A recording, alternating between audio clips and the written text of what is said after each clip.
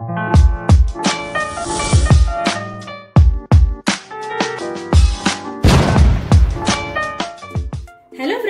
welcome to Lakshmi's pure veg kitchen ఇవాళ ఒక వెరైటీతో మీ ముందు వచ్చేసింది మీ లక్ష్మి. ఓకే? ఇవి గుమ్మడికాయ వడియాలండి. ఇవి ఎలా చేసుకోవాలో ఏంటో దీని ప్రాసెస్ అంతా చూద్దాం ఇప్పుడు మనం. ఓకే? చేయబోయే ముందు గుమ్మడికాయ వడియాలు మనం ఏడాది మొత్తం దాచుకోవచ్చండి. ఎంతో మంచిది కూడా ఇది ఆరోగ్యానికి. ఎక్కువ నీరున్న కూర కాబట్టి మనం కూరగా కూడా చేసుకోవచ్చు. ఆ వీడియో కూడా నేను మీకు చూపిస్తాను. ఓకే? ప్రస్తుతం మనం గుమ్మడికాయ వడియాలు ఎలా పెట్టుకోవాలో చూద్దాం. కావలసిన పదార్థాలు ఇది బూడిది గుమ్మడికాయ అండి. చూడండి ఇలా ఉంటుంది బూడిది గుమ్మడికాయ.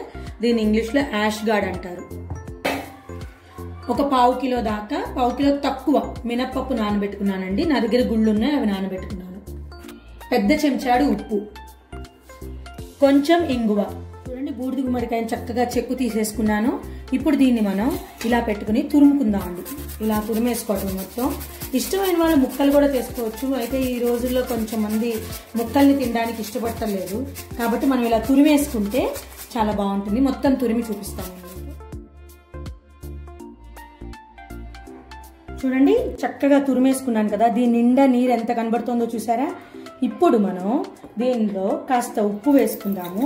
ఓకే దీనికి సరిపడినంత ఉప్పు వేసుకుని తర్వాత కొంచెం ఇంగు కూడా వేసుకోవాలండి. లైట్గా లైట్గా ఇంగు కూడా వేసుకుని ఓకే. ఇప్పుడు దీన్ని మంచిగా ఒక ఇలా కలిపేసి ఒక పది నిమిషాలు వదిలేయాలి.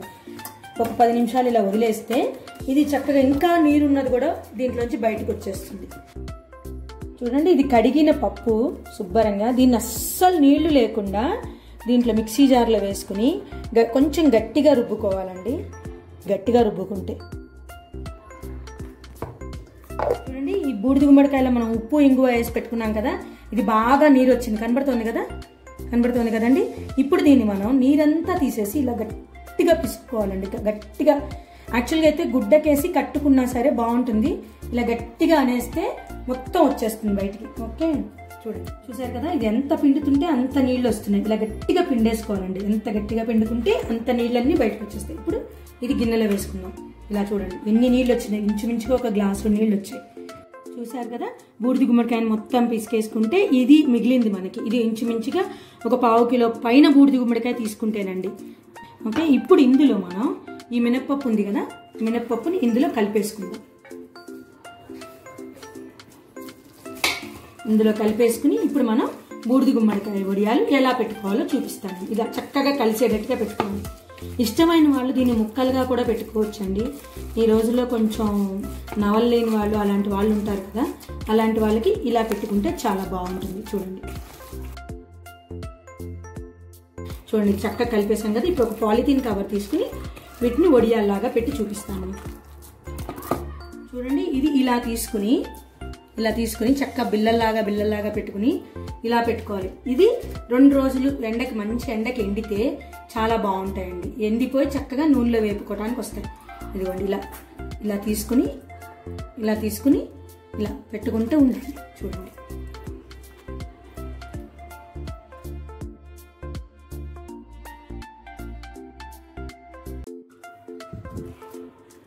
చూసారు కదండి? చక్కగా పెట్టేసుకున్నాం మనం. ఒక ప్లేట్ నిండా వడియాలు. ఇవి రెండు రోజులు ఎండితే చాలా బాగా వస్తాయి. చక్కగా ఒక రేకులు రేకులుగా తయారైపోతాయి. వీటిని చక్కగా మనం గాలి చోరని డబ్బాలో పెట్టుకుంటే ఇవి ఒక సంవత్సరం వరకు నిలవ ఉంటాయండి. ఇప్పుడు చూద్దాం వీటిని ఎండలో పెట్టేసి. చూడండి వడియాలు చక్కగా ఎలా ఎండిపోయినాయో. గలగలా సౌండ్ వస్తున్నాయి చూసారా? ఎంత గలగల సౌండ్ వస్తున్నాయో ఇవండి ఇలా వడియాలు చక్కగా ఎండబెట్టుకుని మనం ఇలా డబ్బాలో పెట్టేసుకోవాలి. చూడండి ఇలా డబ్బాలో పెట్టేసుకుంటే మన వడియాలు రెడీ. ఇవి ఒక సంవత్సరం దాటగా సంవత్సరం వరకు పాడైపోకుండా ఉంటాయండి. ఇంకొక రకం వడియాలు కూడా పెట్టాను నేను ఇది చూడండి. ఇవి జస్ట్ మన గుమ్మడికాయల్ని ముక్కలు ముక్కల కింద చేసుకుని దాంట్లో కొంచెం మినప్పప్పు అండి. ఎంత ఉన్నా ఒక చిన్న టీ గ్లాస్ మినపప్పు కలిపేసి దానికి వడియాల కింద పెట్టేసుకుంటే ఇవి ఇంకో రకం వడియాలు. ఇలా తినివి సాంబార్లో వేసుకుంటే చాలా టేస్ట్గా ఉంటాయి. ఇదండి మన బూడిది గుమ్మడికాయ వడియాలు. ఓకే? మీకు మీ మీరు చూసి మీరు కూడా ట్రై చేయండి వడియాలు ఎలా పెట్టుకున్నారో.